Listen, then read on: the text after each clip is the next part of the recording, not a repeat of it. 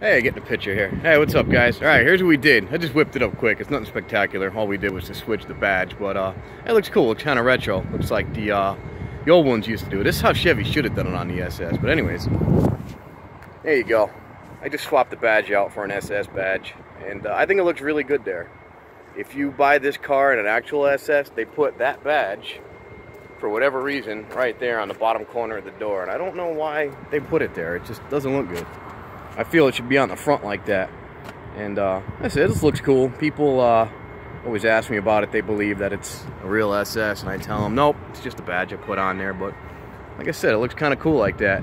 If you get real close, you can see it's still the Chevy emblem behind it. I just stuck that right where the emblem used to be. But also, I, I swapped out the grill for the newer one. You see it's that, uh, that cross pattern there, whatever you want to call it. Uh, the bottom grill, the straight lines is what this grill looked like and then the newer one had that uh, that cooler looking cross pattern. So I got to replace the bottom pieces so it fits. But for now, I just stuck that in there. Like I said, it's thought it was cool. That's the way that uh, Chevy should have made it, like they used to make them years ago. The only problem with this car in an SS though is it's uh, it, it's it's 300 horse, which is it's not bad, but it, it's only 300 horse, which you can get out of a six-cylinder now, and it's front-wheel drive, so it's basically completely worthless in turns. Um, it's just a straight line car it gets up and goes all right for a four-door family car, but it's a straight line car, and you know, what fun is that? Like I said, I think that looks pretty cool like that. I like the way it came out.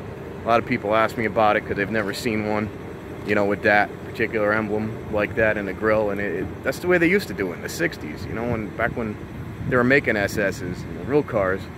They look good. I think I'm going to get another one for the back, put it in the middle. I used to actually have one of those on the back of my old car, but I just thought it looked kind of cool. You know, it looks it looks real. So that was it. If you got one of these cars, slap an SS badge on the front and it looks cool. You know, I had to go out and get a a family car when I had my kids because uh, you know I'm all respectable and whatnot now. so no more fun cars for now until they're older. But just because I can't have a fun car doesn't mean I can't make it look like I have a fun car. But I like the way it came out. It looks pretty cool. So that's it. Thanks for watching.